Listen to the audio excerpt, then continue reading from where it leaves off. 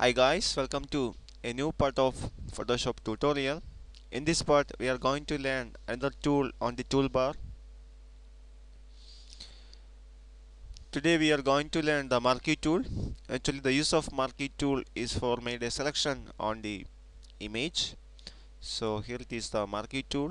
You can see a small arrow is present at the bottom of the tool which indicates that there are some sub options are available with this tool. So in order to view that sub options just right click the tool. We can see all the sub options available with the tool. Here is first one is the rectangular marquee tool elliptical single row and single column marquee tool. I choose the first one. Now I am going to you can see the cursor is now changed in the shape of a plus symbol which indicates that now it is in marquee tool. Now I am going to made a selection here. Now it is a rectangular marquee tool. I made a selection here. Okay. So now you can see again the cursor is in marquee in the form of plus. That means now it is also in marquee tool. So you can made any number of selection uh, anywhere you want okay now I made a selection here. Now I move the cursor inside the selection area. You can see that now the cursor is changed into the move tool.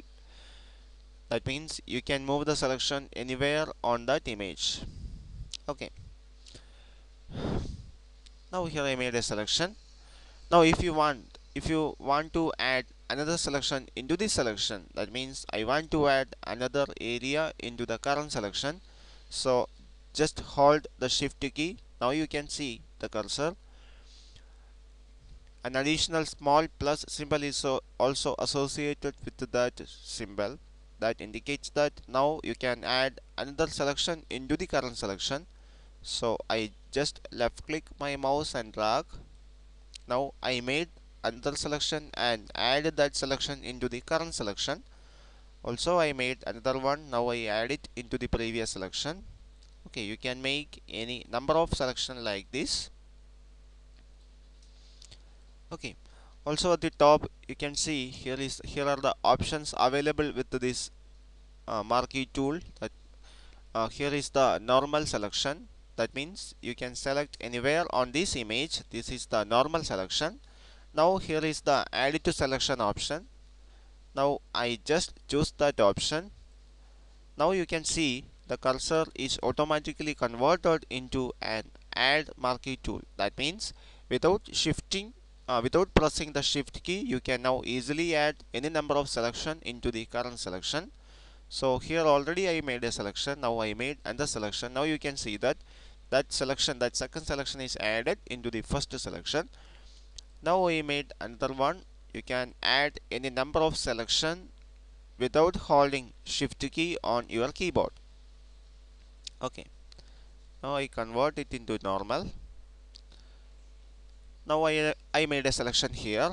If you want to subtract some portion from this selection that means you don't want the entire selection. You want to subtract some portion from this selection.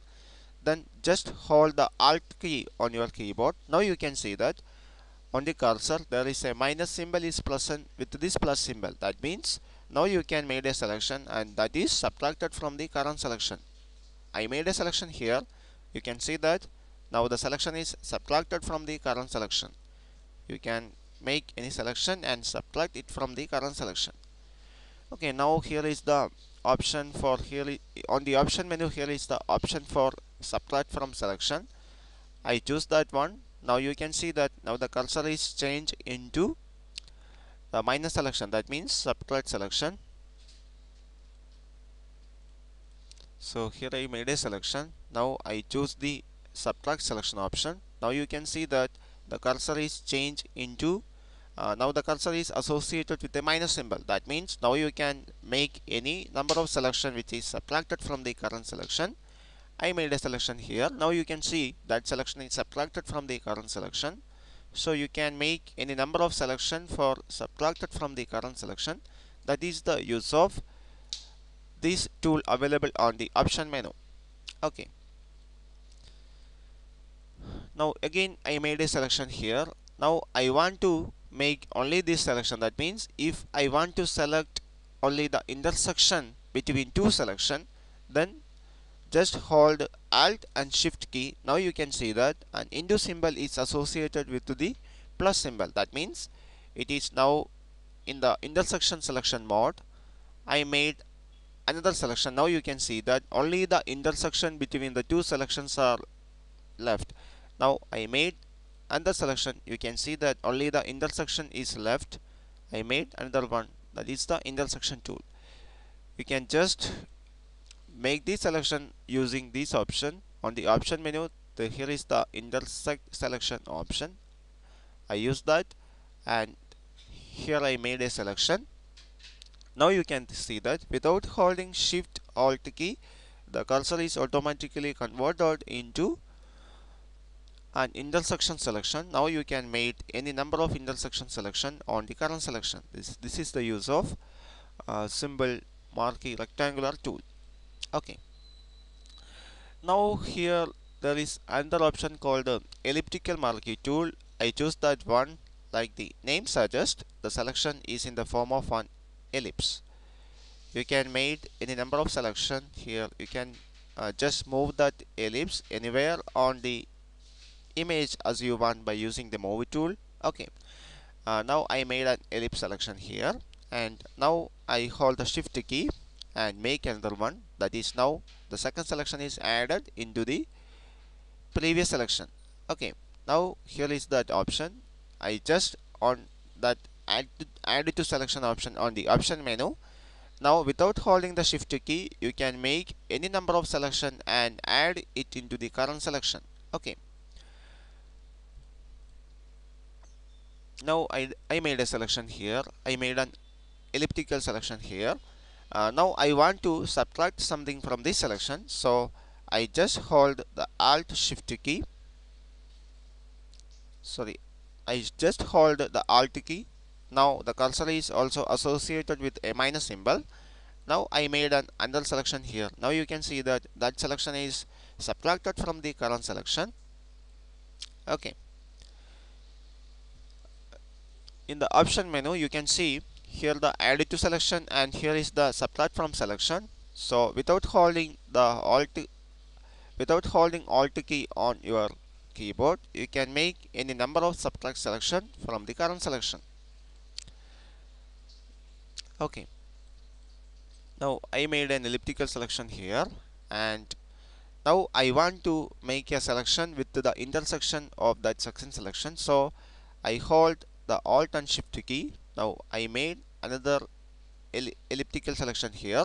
Now you can see that only only the intersection between the two selection is available.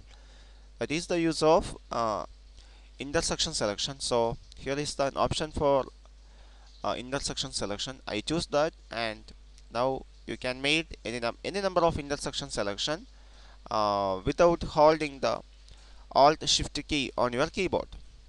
Okay. Now you can easily convert uh, convert from this uh, mark this elliptical and rectangular tool by just holding the shift key just holding the control M on your mouse. I made a now I made a elliptical selection. Now I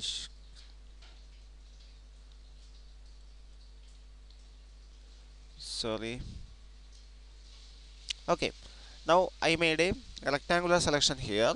You can easily change it into elliptical selection by using the shift and M key. Now I press the shift. Now I press shift plus M. Now you can see that we can easily move from we can easily move into ellipse and rectangular selection.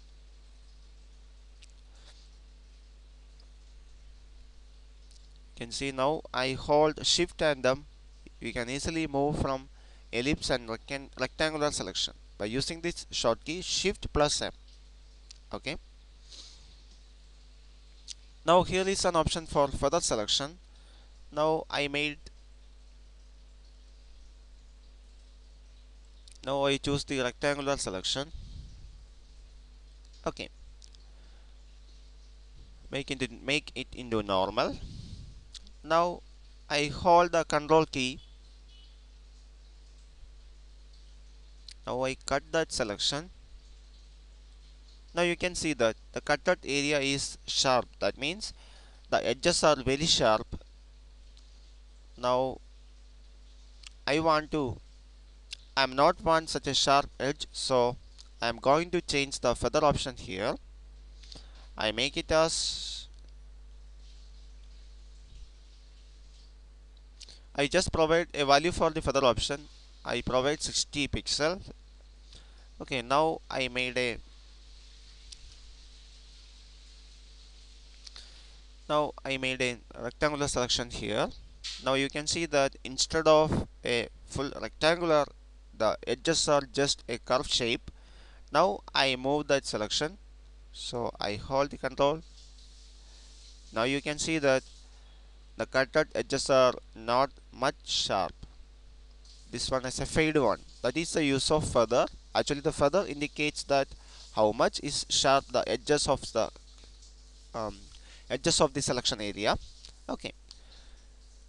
Now here is the option I make it as 0 now here is the option for style. Already it is in the normal form. Now I make it as a fixed ratio. Now I choose that ellipse option.